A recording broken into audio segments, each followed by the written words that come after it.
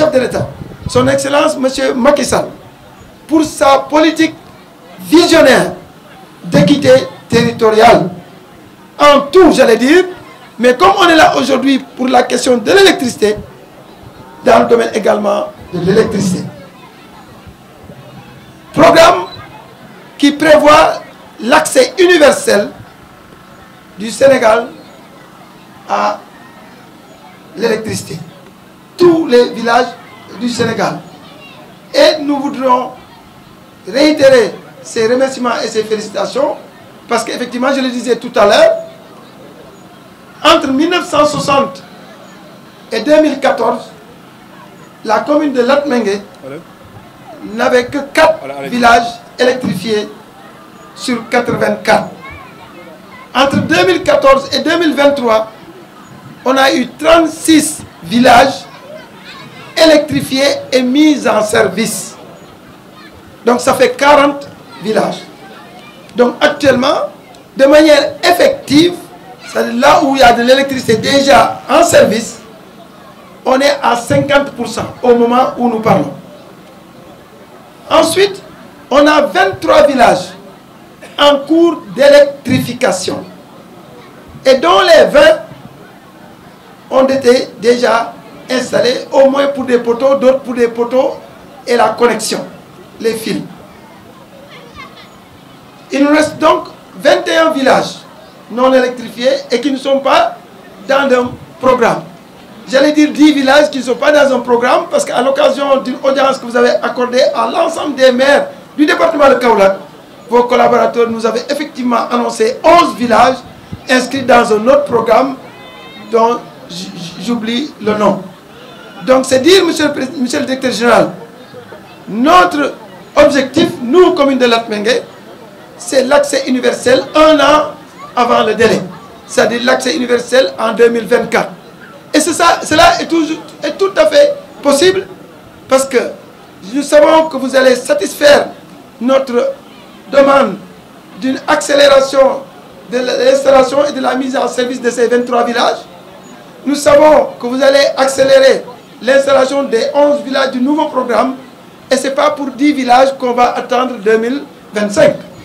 Donc, nous sommes certains que cet accès universel va arriver. C'est pourquoi dans tous les villages où je passe, je leur dis, je ne promets jamais l'électricité parce que ma poche ne peut pas, la mairie ne peut pas, c'est l'État, donc le chef de l'État. Mais si le chef de l'État avait responsabilisé quelqu'un d'autre, on pourrait, je dis bien pourrait, avoir des difficultés. Mais aujourd'hui, vous êtes un fils, vous êtes un des nôtres.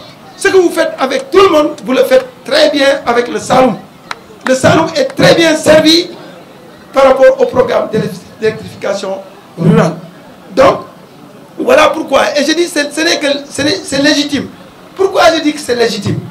Parce que nous sommes une commune parmi les communes en termes d'abord d'étendue.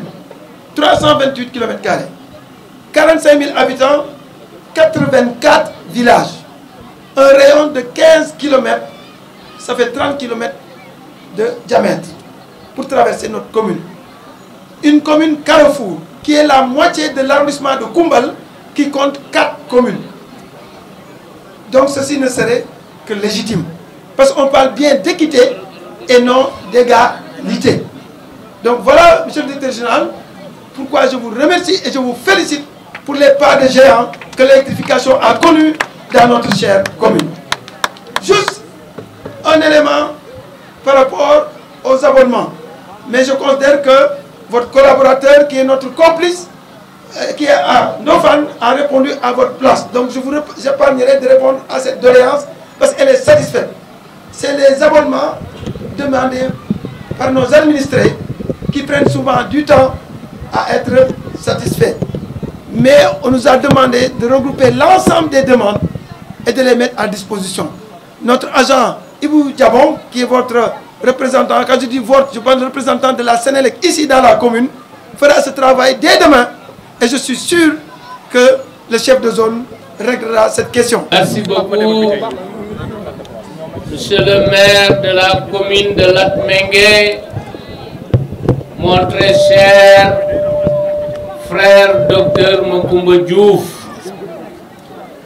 le maire émérite, le maire talentueux, mais dirais simplement le maire proche de sa population.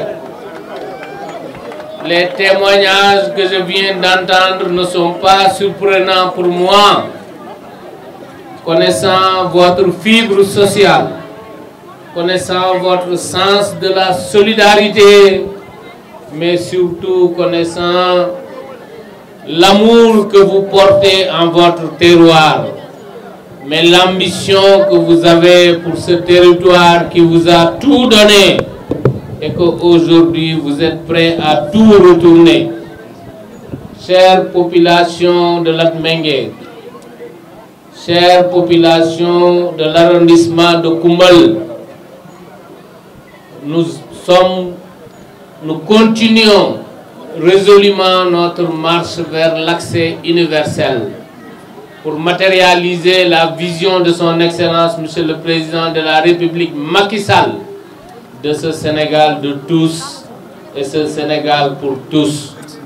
L'équité territoriale et la justice sociale ne sont plus de vains mots ou de vaines expressions, mais sont devenus réalité. La semaine dernière, nous étions dans l'arrondissement de Ngoy. Aujourd'hui, nous sommes dans l'arrondissement de Koumbel, particulièrement dans la commune de Latmengue.